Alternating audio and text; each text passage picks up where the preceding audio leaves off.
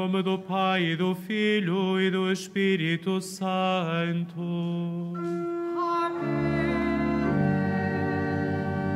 O Senhor esteja convosco. Ele está no meio de.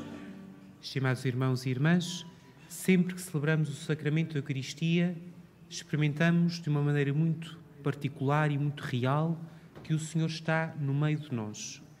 E nós precisamos sempre de voltar a celebrar este sacramento, de nos encontrarmos com Jesus na escuta da palavra e na comunhão do seu corpo e do seu sangue, para não nos desligarmos dele, para não nos perdermos dele, para nos mantermos muito unidos a ele. Tal como viveu unido a Jesus Santo Antão, de quem hoje fazemos memória. Este homem dos primórdios do cristianismo que, sentindo de uma maneira muito particular o apelo do Senhor para deixar tudo e o seguir, não esteve com meias medidas, abriu mão de tudo e entregou toda a sua vida a Cristo. E foi de uma tal generosidade que muitos o seguiram, e assim Antão não seguiu Jesus sozinho, mas ajudou muitos a seguirem Jesus mais de perto. Peçamos então a intercessão deste grande santo para que, pela celebração deste sacramento, cada um de nós, na sua vocação, consiga seguir Jesus mais de perto. E porque nem sempre é assim, abramos o nosso coração à misericórdia de Deus e, para celebrarmos dignamente os santos mistérios, reconheçamos que somos pecadores.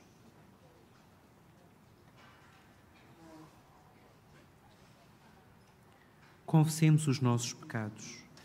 Confesso a Deus Todo-Poderoso e a vós, irmãos, que eu pequei muitas vezes por pensamentos e palavras, atos e omissões, por minha culpa, minha culpa, minha tão grande culpa, e peço à Virgem Maria, aos anjos e santos, e a vós, irmãos, que rogueis por mim a Deus, nosso Senhor.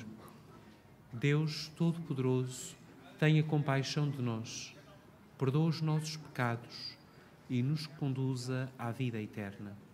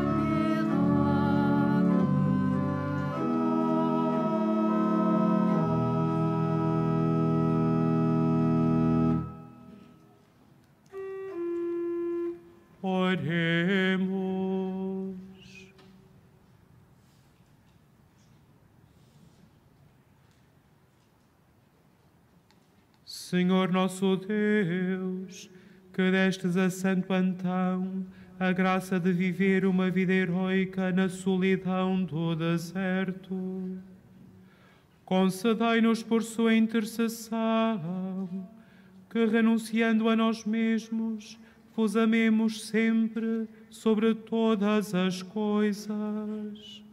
Por nosso Senhor Jesus Cristo, vosso Filho, que é Deus, e convosco vive e reina na unidade do Espírito Santo, por todos os séculos dos séculos.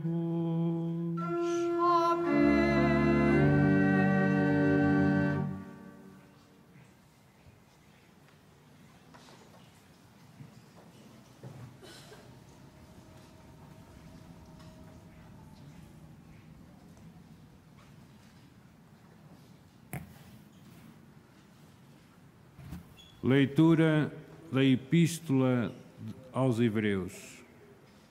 Irmãos, Deus não é injusto. Ele não pode esquecer o vosso trabalho e o amor que mostrastes pelo seu nome, colocando-vos ao serviço dos santos no passado e no presente. Desejamos, porém, que cada um de vós mostre o mesmo zelo, mantendo intacta a sua esperança até ao fim. De modo que não vos torreis tíbios, mas imiteis aqueles que, pela fé e pela esperança, se tornam herdeiros dos bens prometidos. Quando Deus fez a promessa a Abraão, como não tinha outro maior por quem jurar, jurou por si próprio, dizendo: Eu te cumularei de bênçãos e multiplicarei a tua posteridade. E por ter preservado pacientemente, Abraão alcançou a realização da promessa. Os homens, de facto, juram por alguém maior que eles, e o juramento é uma garantia que põe fim às suas contendas. Por isso, Deus, querendo mostrar solenemente aos herdeiros da promessa como era imutável o seu desígnio, comprometeu-se com um juramento. E assim, por dois atos irrevogáveis, nos quais é impossível Deus mentir, nós temos um forte incentivo para nos refugiarmos firmemente na esperança proposta. Nela tem a nossa alma uma âncora inefável e segura que penetra para além do véu, onde entrou Jesus como nosso precursor, constituído sumo sacerdote para sempre, segundo a ordem de Melquisedeque. Palavra do Senhor.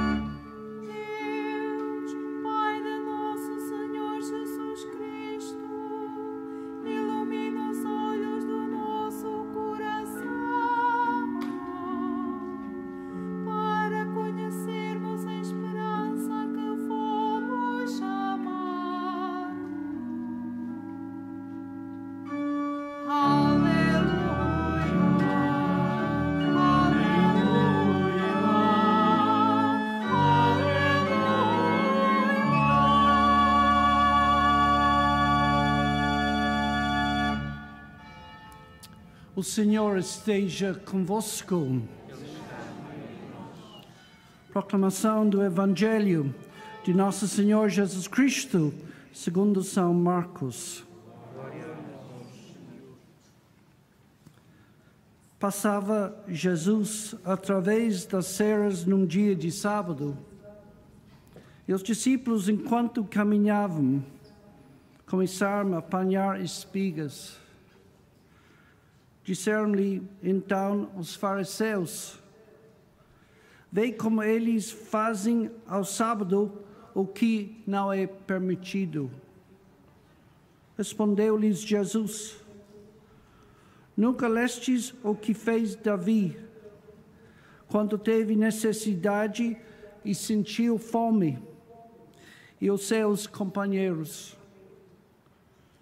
Entrou na casa de Deus no tempo do sumo sacerdote Abiatar e comeu dos pães da proposição que só os sacerdotes podiam comer.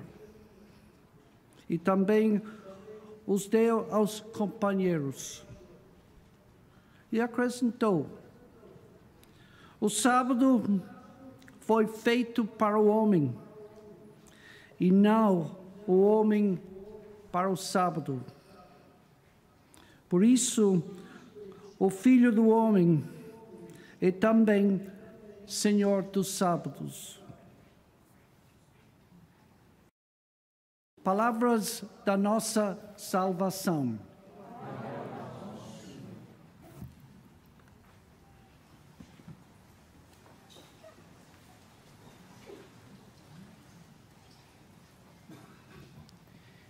Peço que imaginem comigo a seguinte situação. Imaginemos que queremos que alguém olhe para a lua. Estamos de noite e queremos que alguém olhe para a lua. E nós, com a mão, fazemos, apontamos, fazemos um sinal para que a pessoa olhe para a lua. E a pessoa, em vez de olhar para a lua, fica só a olhar para a nossa mão. O nosso gesto teve resultado? Diremos que não. O problema é que muitas vezes, no nosso caminho de fé, acontece exatamente a mesma coisa.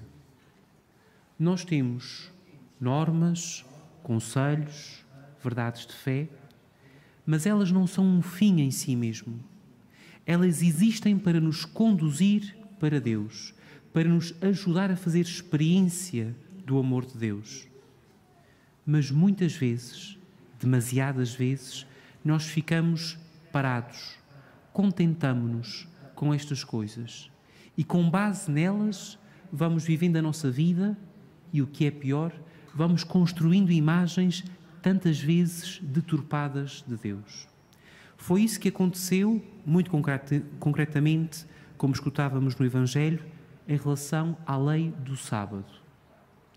A lei do sábado tinha sido feita para que o homem, para que a mulher, tivesse um tempo ao longo da semana em que se voltava totalmente para Deus. Um tempo que por isso tinha que estar resguardado, cuidado, para que nada interferisse nesta relação. Contudo, como sempre, quando nós vamos entrando na rotina, o povo de Deus foi se esquecendo da intenção, foi se esquecendo para onde é que apontava a lei do sábado e ficou só a centrar a sua atenção na lei do sábado e a criar normas e leis e leizinhas e preceitozinhos, esquecendo-se da finalidade. Porque, convenhamos, uma lei que até permite que o homem morra à fome só para honrar a Deus, será essa uma lei justa? Será essa uma lei que Deus quer? Certamente não. Isto que aconteceu ao povo de Deus e que o Senhor Jesus no Evangelho de hoje tenta corrigir é aquilo que tantas vezes nos pode acontecer na nossa vida de fé. Ouvimos umas coisas sobre Deus, temos umas quantas normas, sabemos que temos que fazer isto e aquilo, e com base nisto nós vamos vivendo a nossa vida e formando uma imagem de Deus. Mas nunca chegamos a estar com Ele. Nunca chegamos a fazer experiência dele. E muitas vezes para nós Deus é quase um tirano, porque nos põe este peso em cima e o outro peso, e depois é preciso ir à missa, e depois é preciso viver assim, depois é preciso agir daquela maneira. Quando tudo isso são meios para nos levar mais para junto dele, não são fins em si mesmos. Como escutávamos na primeira leitura, Deus não é injusto ele fez a promessa de que estaria para sempre conosco. E essa promessa há de ser a nossa âncora. Para não entrarmos neste caminho da rotina que nos faz criar imagens falsas de Deus, é tão importante que mantenhamos a proximidade com Jesus. Que vamos junto dele, que nos relacionemos com ele, que o conheçamos numa relação de tu a tu só assim vamos perceber que Deus fez todas as coisas para nós. Fez tudo para que nós tenhamos vida e a tenhamos em abundância. Este Senhor Jesus quer que nós vivamos muito próximos dele, tal como estes discípulos que, por estarem tão próximos de Jesus, não estavam aprisionados nesta falsa interpretação da lei do sábado. quando estamos longe de Jesus, quando não vivemos colados, ligados a Ele, muitas vezes andamos a pensar que Deus é alguma coisa que não é, que nos pede coisas que se calhar nem nos pede, porque desligamos-nos da fonte e a fonte é Ele, não as coisas sobre Ele, as leis sobre Ele. A fonte é só Ele. Vamos pedir por isso ao Senhor que tudo aquilo que sabemos dele, todas as normas que Ele nos dá, nos conduzam para Ele, nos conduzam ao encontro dele. Que tudo isto seja para que tenhamos vida e a tenhamos em abundância, para que Jesus seja a âncora da nossa vida, aquela âncora que nos permite permanecermos firmes quando tudo é incerto, quando tudo nos falha. Porque Deus é sempre fiel e o grande desejo de Deus é que tenhamos vida e que tenhamos em abundância. Para isso, só precisamos de uma coisa: não nos desligarmos dele, permanecermos unidos a ele.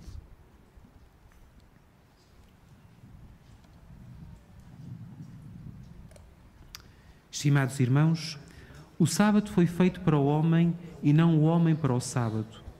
Peçamos a Jesus que nos faça ver e julgar como ele, dizendo: Senhor, fazei-nos ver e julgar bem. Senhor, fazei-nos ver e julgar bem.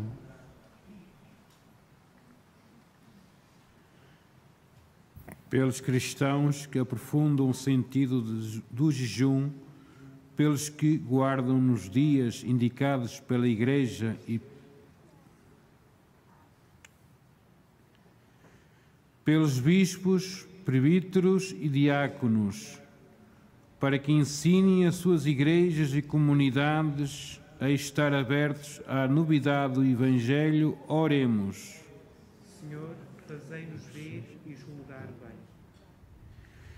Pelos que fazem as leis civis da nossa pátria, para que tenham a preocupação de deixar claro que a vida tem mais valor que os decretos, oremos. Senhor, fazei-nos ver e julgar bem.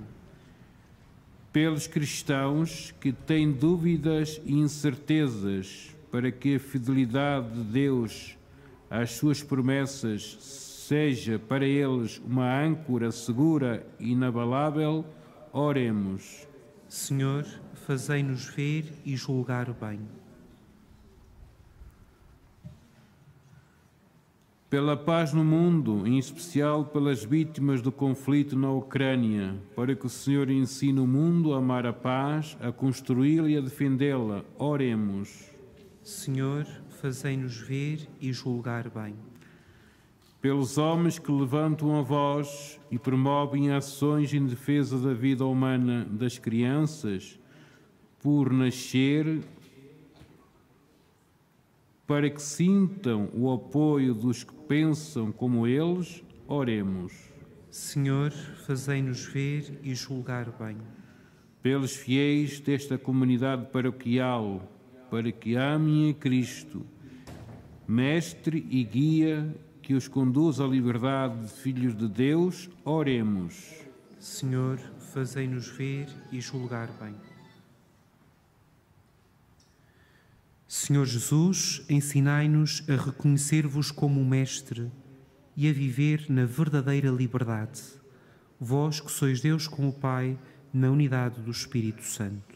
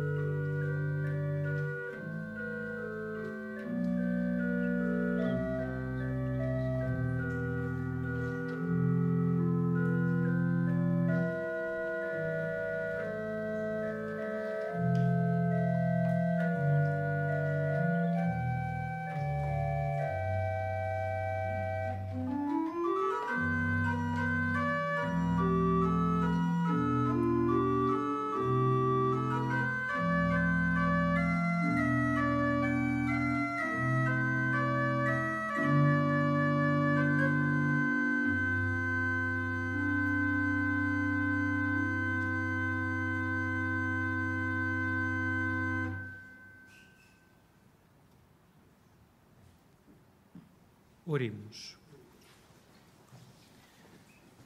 Aceitai, Senhor, os dons que colocamos sobre o vosso altar na comemoração de Santo Antão e fazei que, libertos das coisas da terra, encontremos em vós a nossa única riqueza. Por Cristo nosso Senhor. O Senhor esteja convosco.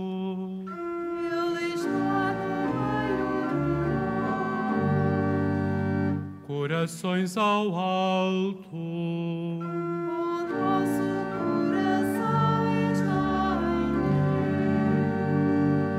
em Demos graças ao Senhor nosso Deus. É nosso dever, é nossa salvação.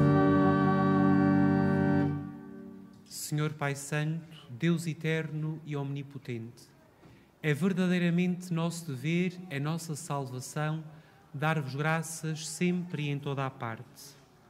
Ao recordar os santos que, por amor do reino dos céus, se consagraram a Cristo, vosso Filho, celebramos a vossa admirável providência. Neles restituís ao homem a santidade original e nos fazeis saborear na terra os dons que reservastes para a vida futura. Por isso, com os anjos e os santos, proclamamos a vossa glória, cantando numa só voz.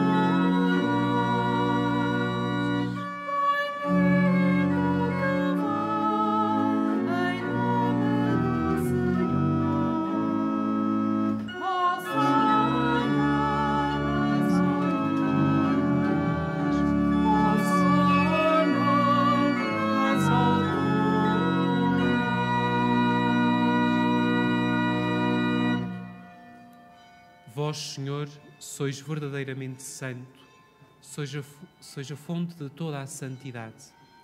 Santificai estes dons, derramando sobre eles o vosso Espírito, de modo que se convertam para nós no corpo e sangue de nosso Senhor Jesus Cristo.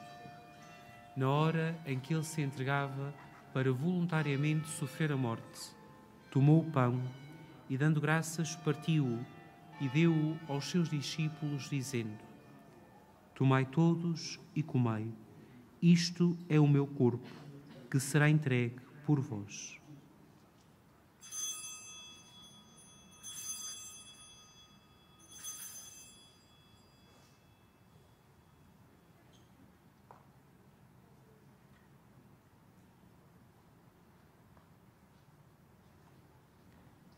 De igual modo, no fim da ceia, tomou o cálice, de novo vos deu graças e deu-o aos seus discípulos, dizendo: Tomai todos e bebei. Este é o cálice do meu sangue, o sangue da nova e eterna aliança, que será derramado por vós e por todos para a remissão dos pecados. Fazei isto em memória de mim.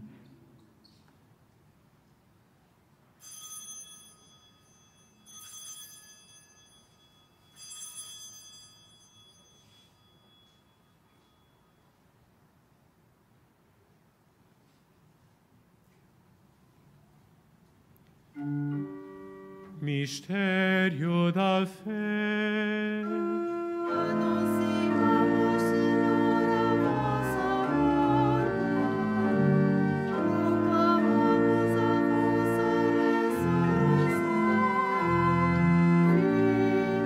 Senhor, proclamamos a. Celebrando agora, Senhor, o memorial da morte e ressurreição do vosso Filho, nós vos oferecemos o pão da vida e o cálice da salvação e vos damos graças porque nos admitistes à vossa presença para vos servir nestes santos mistérios. Humildemente vos suplicamos que, participando no corpo e sangue de Cristo, sejamos reunidos pelo Espírito Santo num só corpo. Lembrai-vos, Senhor, da vossa Igreja, dispersa por toda a terra, e tornai-a perfeita na caridade, em comunhão com o nosso Papa Francisco, o nosso Bispo José e todos os ministros sagrados. Lembrai-vos também dos nossos irmãos que adormeceram na esperança da ressurreição e de todos aqueles que, na vossa misericórdia, partiram deste mundo. Admiti-os na luz da vossa presença. Tende misericórdia de nós, Senhor, e dai-nos a graça de participar na vida eterna com a Virgem Santa Maria, Mãe de Deus, São José, seu esposo, os bem-aventurados apóstolos, Santo Antão e todos os santos que desde o princípio do mundo viveram na vossa amizade, para cantarmos os vossos louvores por Jesus Cristo, vosso Filho. Por Cristo, com Cristo, em Cristo, a vós, Deus Pai Todo-Poderoso, na unidade do Espírito Santo, toda a honra e toda a glória, por todos os séculos dos séculos.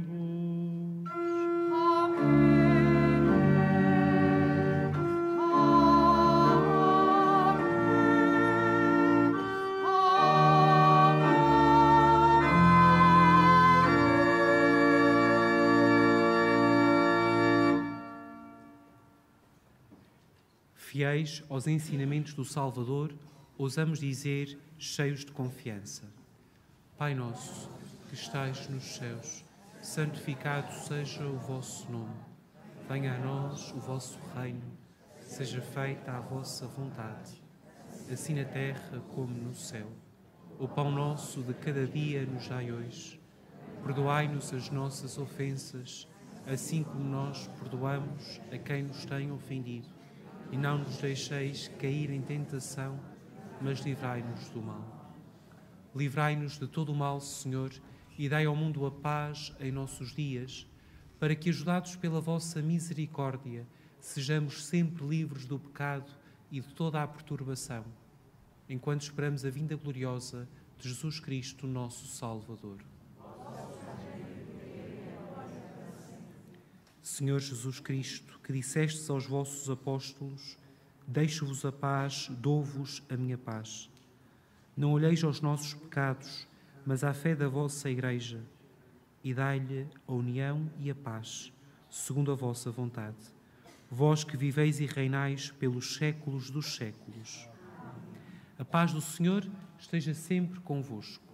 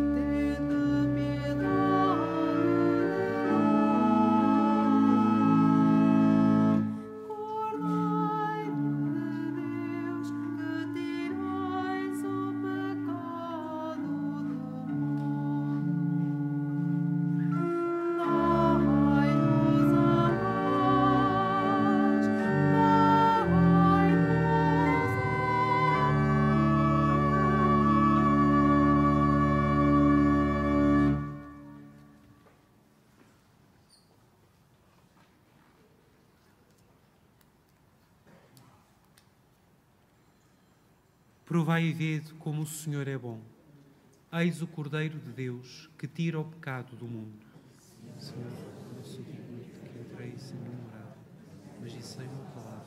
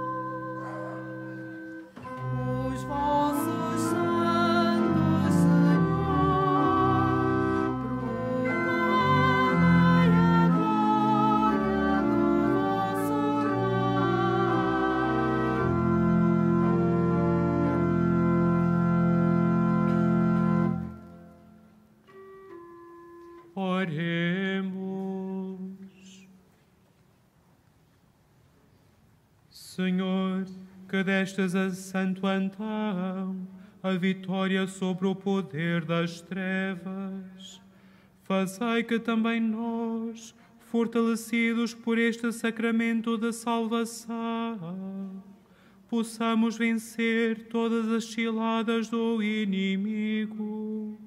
Por Cristo nosso Senhor.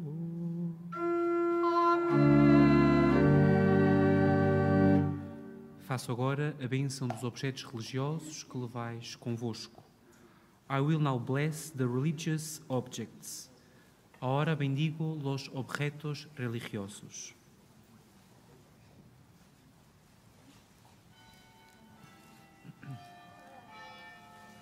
Bendito sejais, Senhor, fonte e origem de todas as bênçãos, que sempre promoveis a piedade sincera dos vossos fiéis.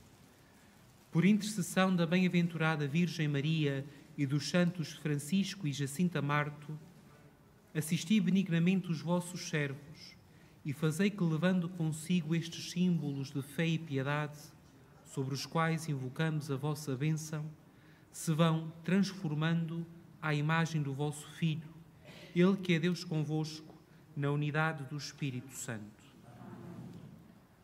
O Senhor esteja convosco. Ele está no meio Abençoe-vos, Deus Todo-Poderoso, Pai, Filho e Espírito Santo.